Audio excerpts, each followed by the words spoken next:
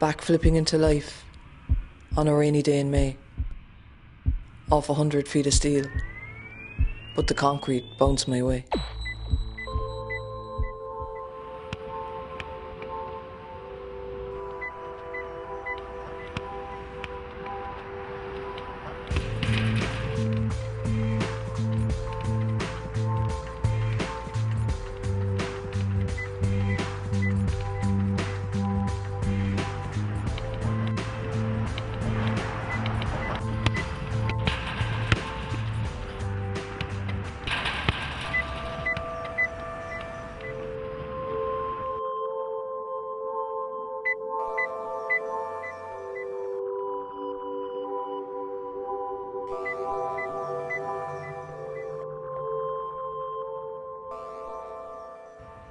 A Saturday in November 2006, and from behind this glass partition, the world seems worlds away.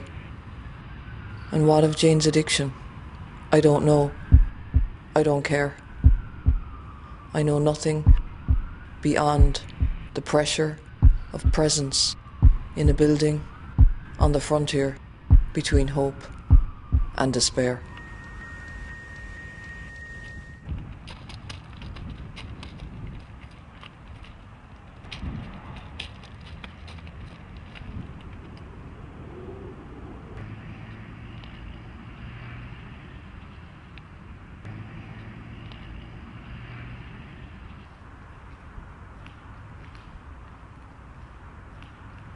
What's on my radar right here today?